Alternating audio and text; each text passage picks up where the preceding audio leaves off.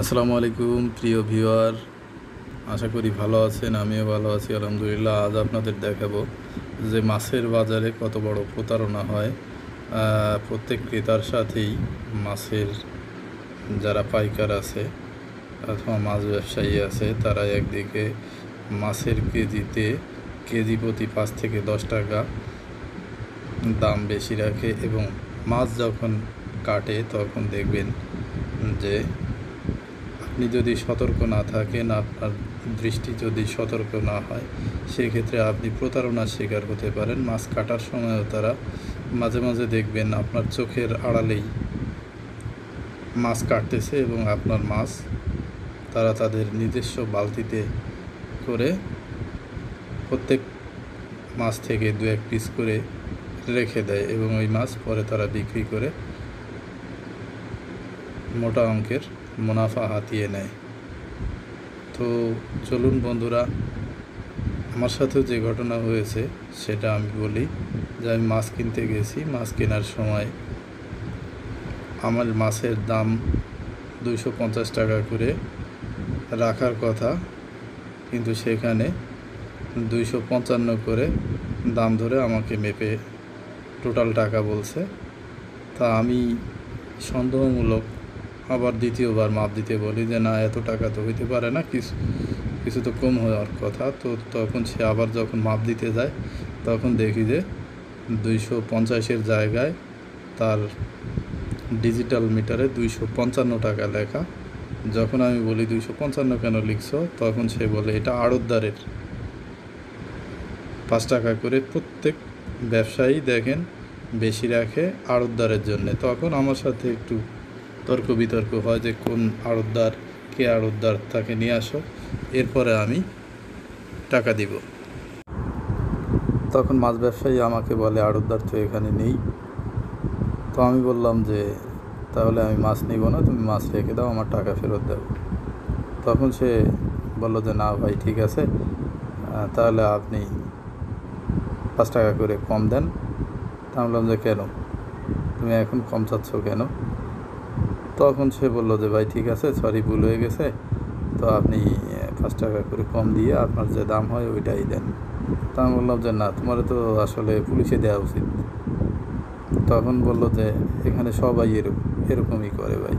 তা আমি বললাম যে আর একটা দু একটা দেখাও, আমি তোমার একটু ভিডিও করব এবং তোমার যে এই কাজগুলো করে, তার একটু জিনিসটা আমি একটু ভিডিও করব।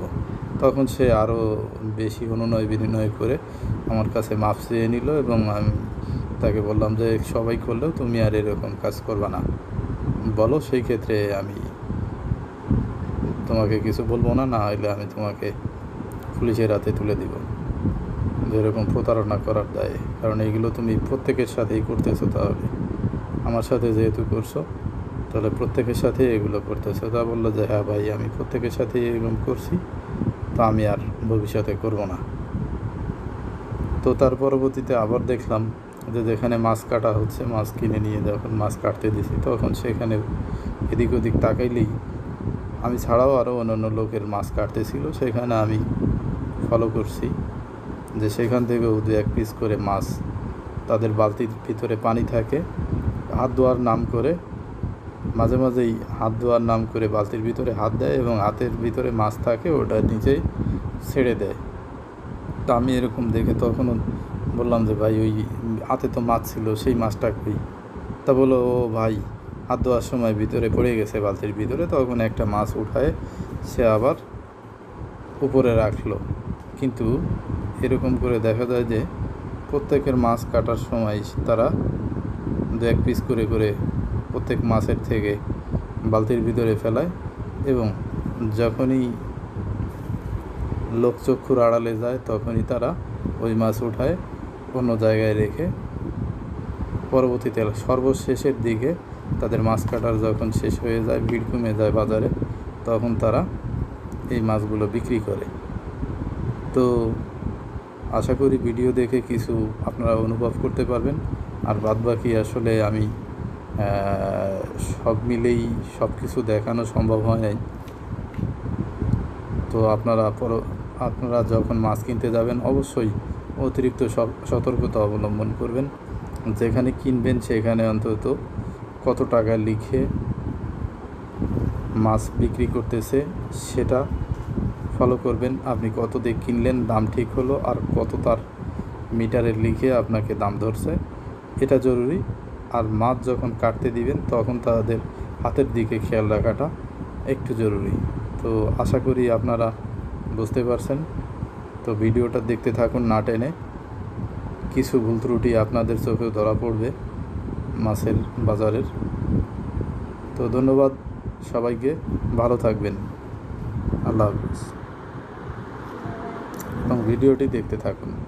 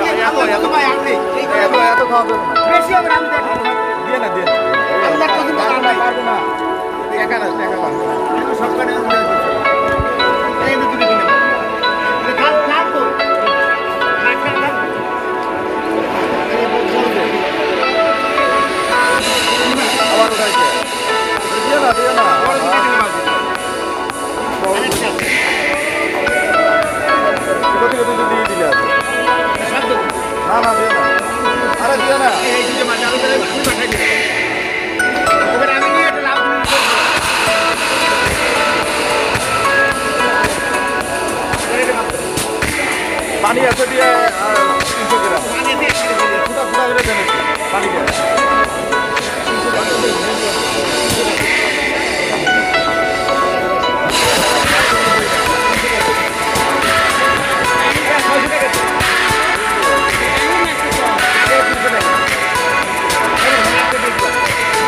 Good enough.